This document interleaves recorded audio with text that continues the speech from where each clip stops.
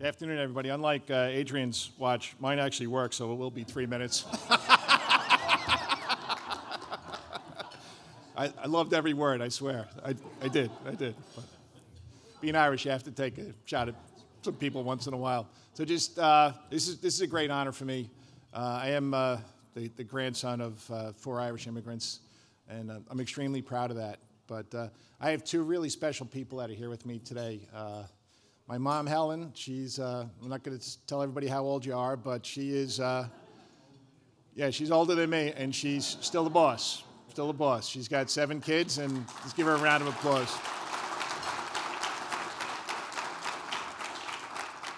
Actually, uh, growing up, I was number four, and at times I wasn't really sure if she really knew what my name was, but that's okay. Being four is good. Youngest, not so good. Oldest, certainly not, not that good. And then my, my sister Sheila is here today, and she has been uh, my rock uh, my whole life. Uh, whenever I, maybe if I was going down, maybe not the wrong road, but maybe off to the side of the road, uh, she was always there, and uh, I love her for that. And she's she's a great sister. Thanks, Sheila. Thanks.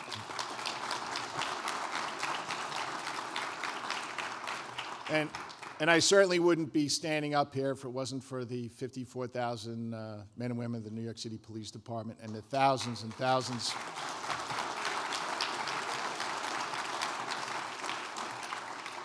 and the thousands and thousands of people that have come before us. Uh, you know, New York City was transformed, and it wasn't transformed by magic. It was transformed because of a lot of hard work, a lot of sacrifice. Uh, unfortunately, a lot of police officers injured.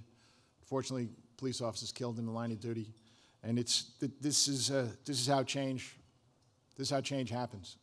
You know, if you were here in 1990 when there were 2,200 homicides, uh, you walk outside today and you just feel safe. You know, it's not maybe not in every block of the city, but we're working on that. And uh, what I see, the best part about my job now is is what I get to see each and every day, and the hard work that the men and women do. Uh, you know, they're out there 24 hours a day, seven days a week.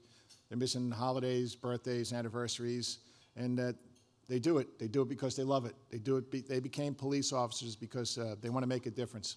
They want to do good, and, and they do. And we certainly don't do it alone.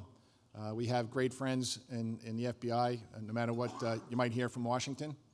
In New York City, Bill Sweeney is the assistant director in charge of that office, and they understand what their mission is. And their mission is to keep the city safe from traditional crime and uh, from, from terrorism, too. And our friends in the DEA, the ATF, uh, the U.S. Marshal Service. These are people you really don't hear about that much, but they're just as responsible for keeping the city safe as the NYPD. And we have great partners in the prosecutors, the local prosecutors, the six of them, believe it or not, uh, the U.S. Attorney's Office, the Eastern District, the Southern District. But most importantly, most importantly is the 8.6 million New Yorkers who understand that for this city to be truly safe, they have to be part of that. They have to pay attention to what's going on in the city. They have to trust us. And it's been a difficult five years. And everybody probably remembers 2014, 2015, after Ferguson, after Garner.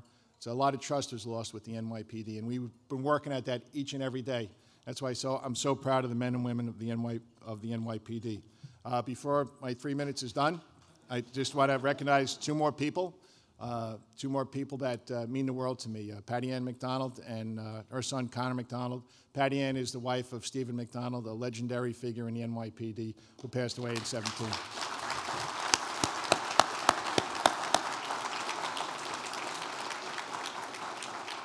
Uh, just everybody here, thank you very much. Niall, Patricia, thank you for this honor. It means so much to me. And I can't believe I have my, my big head on the cover of a magazine, and my six brothers and sisters will never let me forget about it. So thank you very much. Thank you very much.